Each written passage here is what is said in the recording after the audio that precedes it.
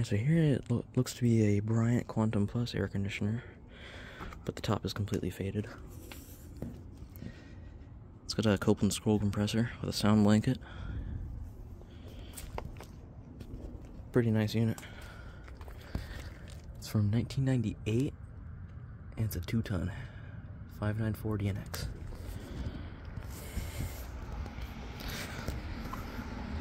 GE fan motor. So anyways, thanks for watching.